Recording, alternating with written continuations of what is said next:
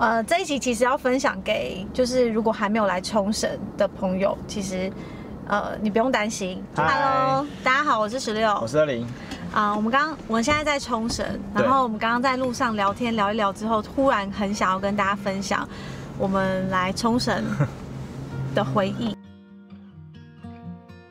就是自驾的回忆。对，为什么会聊聊起这个？因为我们今天要回台湾了，然后我们刚好有个有一个朋友，他明天要来冲绳，就接就是我们回去，他过来这样子。然后成功的被我们推坑来冲绳，对，然后完成他人生的成就，第一次自驾。对他都完全没有自驾过，然后也没有来日本过，他就被我们推坑了。然后我们就想说，哎，那我们回忆我们第一次，因为当然有很多人他可能来了来了十几次，或是八九次之类的。对，就是就是很多次，然后很多人很热爱冲绳，那也有人觉得冲绳很无聊，反正就是有很多两极化。那我们自己的话，我们是觉得，呃，我对冲绳是蛮有爱的，因为我很喜欢海，然后冲绳的天气一年四季都算很舒服，跟台湾很像。我们就回想起我们第一次来自驾的时候，因为我们也没有自驾过，第一次也是选择冲绳。然后我们我记得我在台湾的时候，因为我就会很害怕说，哈，那没自驾过，可是跟我们台湾反方向，那你会吗？你会吗？不会啊，对啊，也没也练过。开开看啊对，然后然后二妮就跟我讲说，他他就上网查，他他也跟我讲说，哦，你在那个租车的时候啊，他会给你一个练习，等等，我是不知道看哪一个部落客写的，就是说他说呃有一个人家真的是有 PO 照片出来，你会有一个有一台练习的机器，然后对然后他就说可以右驾，有点像是电动玩具的那种感觉，他就说哦，你这样子开一开练习之后，应该就会了。我就说哦，好好好，那我们试试看。结果来了之后呢，哦，一切都很顺利哦。嗯好，到现场他就他有会说中文，所以也 OK。然后付完钱之后，车子就开了。好，开了之后我们就说，哎，不对啊，我们不是要练习吗？没有练习哦，对，没有练习这件事哦。好，然后我们就说，好，那没关系，没有机器练习也没也也就算了，总可以让我们在场内稍微绕一下，感受一下那个右驾的感觉吧，因为完全都没开过啊，完全没有哦，对，然后那个店员都说不行，no no，就叫你就赶你出去，你要赶快离开，你要开出去，对就直接上路了。对，超好笑。然后我就说，我就说天哪！你你刚起步的那几几步路，你都觉得战战兢兢，因为你很怕会出什么状况。然后车子哦，真的。对车子也不熟，就是雨刷跟方向灯是相反的，剩下都一样。对，刹车跟油门其实都一样。对，然后因为每个人都有第一次，我不知道你们的自驾第一次的感受是什么，因为。我我们一开始拿到车，好开开开开，然后我们就在网络上也做了功课，比如说哦，呃，输入 map code 或者是输入那个电话，就可以带你到目的地，然后导航也都中文的哦。对好，然后超方便的。对，然后我们就好输入输入进去点，好开车车车开开开，到第一个目的地，你就觉得天哪，我太厉害了，哇！达成达成第一个任务，你就觉得哇，很很酷哎，就是很新鲜，一切都对你来讲就是因为你很有趣。对很有趣，然后你你到。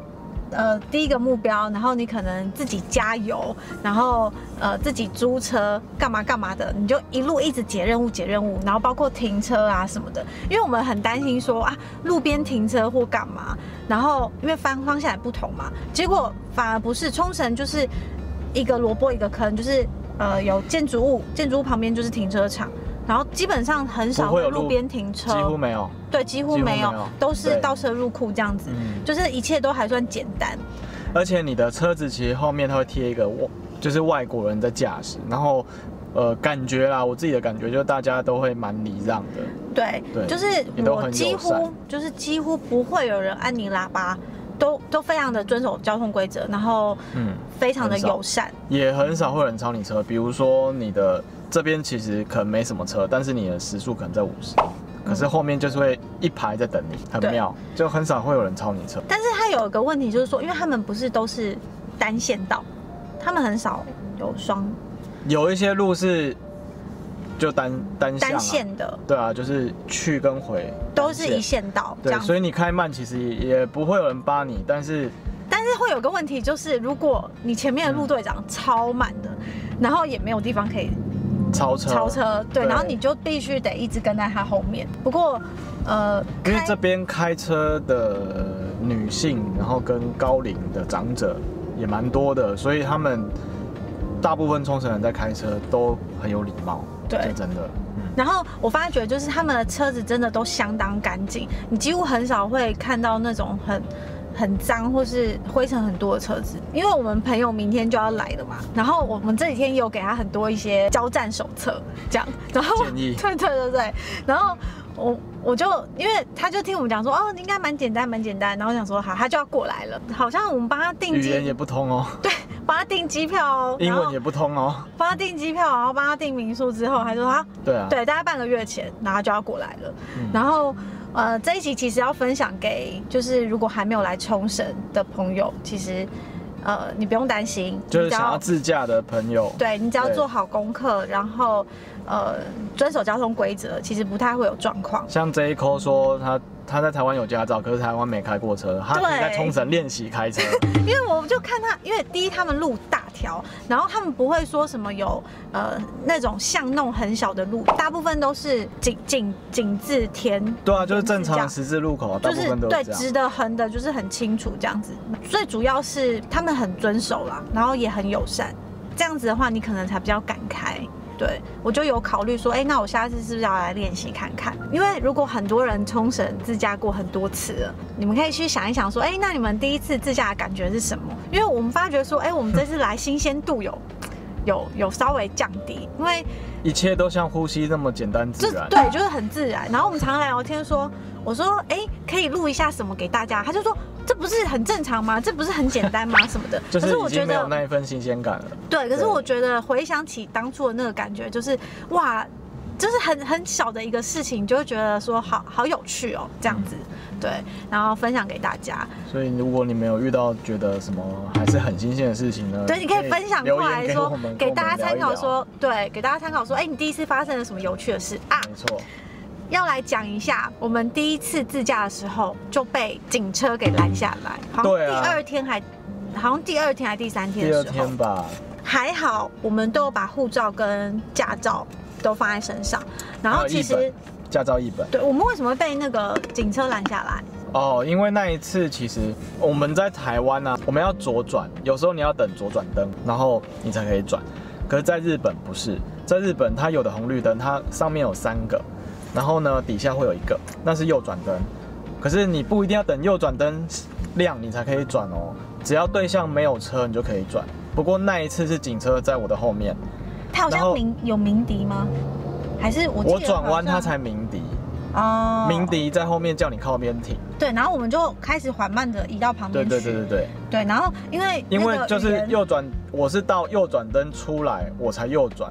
我想说，哎、我在遵守交通规则，然后对象其实都没有车，对，对。然后然后因为我们语言又不通，然后就就开始讲一些破英文这样子，然后那个警察一 一过来就就说 Google Google，然后我们想嗯 Google 是什么意思？没有，他说 Google 就是 green 就是哦绿灯啊，他一他的意思是说 green go 就是绿灯你就过去了，然后他一直说 Google Google 我就听不懂，就说嗯。哦，对啊，这到底是什么意思？嗯对，然后就在那边比手画脚很久，然后看一下我们的那个驾照，然后就就让我们就过去了，这样子。对，对，就是呃，这故事告诉我们说，你不管，反正你只要开车，你你所有的那个证件你都都放在身上，就以免他如果要查的话，就就可以看这样子。那也有很多人他在冲绳有发生一些呃交通的小状况，然后你们也可以分享上来，就让更多没有就是没有遇过的人可以参考，然后可以分享一下这样子。或者有什么要注意的，对，要注意的这样。我发觉啊，就是当你会在日本自驾的时候，就有一种回不去的感觉。为什么呢不？去台湾，就不是不是，就是你你就会觉得他 可以开车，那我干嘛要走路嘞？我干嘛要坐车？你就会有一种就是很懒，就觉得啊开车就可以到了的感觉。那当然自驾会那个。交通的部分当然会比较贵一点，可是如果你是整团，比如说哦有四五个好朋友，或是说呃带家人一起来，其实 share 下来的话，交通并不贵。或者你东西很多的话，对，自那。我为什么说回不去呢？比如说像你看哦，呃，我们现在走，当然啦，这开车人真的很累。然后我们比如说去有呃一一个景点玩一玩之后，然后我们累了，我们上车就开始。啊，好累哦，睡觉。